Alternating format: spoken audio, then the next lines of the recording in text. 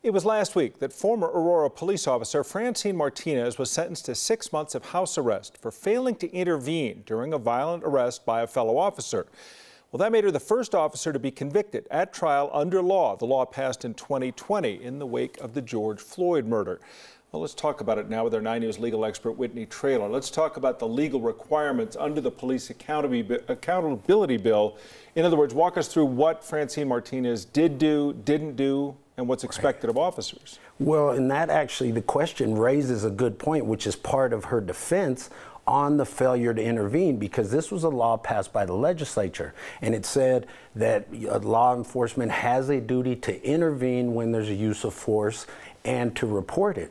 And here, so the question is, and this was actually something that they filed a motion for during the during the case, was the failure to intervene is not defined anywhere. And so that was essentially part of her defense. But they're saying this was unconstitutionally vague and, and they lost on that motion. Common sense, though. Let's, let's, because I know everyone wants to get talk about legal technicalities. Common right. sense, if we've seen, and we have seen the video of that arrest, there was a failure to intervene. The question was, you know, it wouldn't have been easy to intervene. Right. But that, failure to intervene was something that I think common sense would tell you was taking place right then and there. The body cam in that regard, I think, speaks for itself. But part of her defense, Officer Martinez, was when there is deadly force being used in a situation trying to bring somebody into custody, you can then use a chokehold.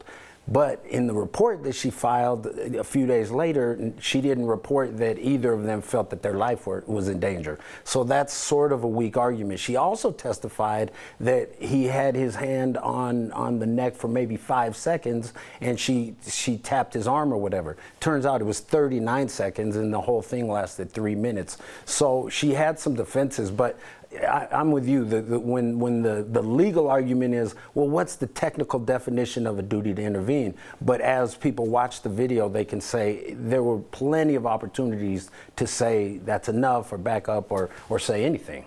And she was the first, a woman in this case, charged in this case, and that moved forward, so we followed it closely. But the other officer, he's also facing charges. Right. And he's facing first degree assault, second degree assault uh, with a deadly weapon, felony menacing, official misconduct. He, he's facing a number of, of charges and he's scheduled for trial in November. Does this case start to define failure to intervene as we go forward? Does each case that we will see of this yeah. start to, to set up that, that, you know, precedents, if you will? That's a great question. That's exactly how our system works. Is that that's common law. The Latin term is stare decisis, judge-made law, case law precedent. That's how it works. The legislature they can't define every potential situation that's going to come up. So they say failure to intervene creates this. Then you go to trial and you have these facts now attached to the law. And then when it gets appealed and they say, yes, this was a failure to intervene, then you start to develop that body of Does law. Does it also develop the sentencing length? Because she got six months of house arrest, which yes. was a lighter sentence than, than prosecutors were looking for. And they, they have to comply with the sentencing guidelines. And so here that she could have gotten anywhere from probation up to 18 months in jail. And so the sentence was actually six months in jail, but she could serve it under house arrest. So in that regard, yes, it is also uh, like a template. Here's what happened in this situation. We all saw it. Here's the, uh, the, the sentence. So I think it will have precedential value both legally as we shape the law, but also in officer conduct because now they're going to look at this and say, okay, there, there, was an opportunity to intervene, use this as training.